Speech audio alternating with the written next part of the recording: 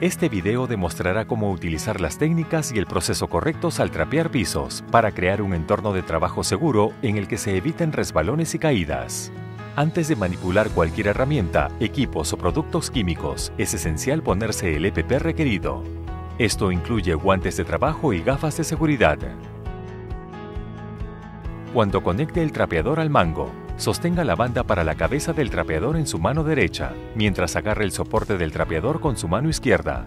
Luego, coloque la banda para la cabeza en el soporte y apriete con la mano izquierda. Una vez que esté apretado, mueva su mano izquierda a la sección inferior del trapeador. Cuando moje el trapeador, párese recto y colóquelo en un solo compartimiento saturando las fibras.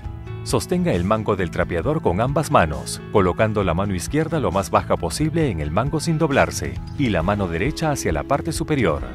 Luego levante el trapeador en su lugar dentro del escurridor. A continuación, escurra el trapeador, colocando su pie izquierdo frente a la rueda delantera del cubo del trapeador y sosteniendo el cubo en su lugar. Mantenga su mano izquierda en la posición original en el mango del trapeador y coloque su mano derecha en la parte superior del mango del escurridor del trapeador. Párese derecho, presione hacia abajo la manija del escurridor con la mano derecha en un movimiento lento y estable, mientras se mantiene lo más derecho posible. Esto depende, por supuesto, de la altura del operador. Adjúntelo a la cesta de utilidad. Luego, levante el trapeador en el carrito de utilidades. Coloque avisos de piso mojado en cada entrada a las áreas que está limpiando.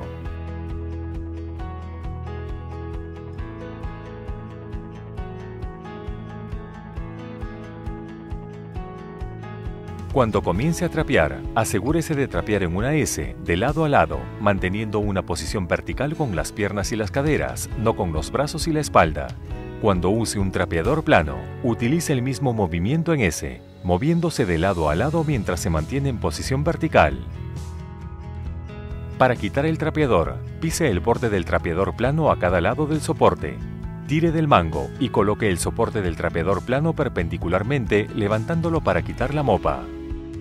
Cuando va a vaciar el cubo frente a un fregadero bajo, mueva las ruedas del cubo hacia arriba contra el borde del fregadero. Sostenga la manija del balde con una mano y la parte inferior del balde del trapeador con la otra mano.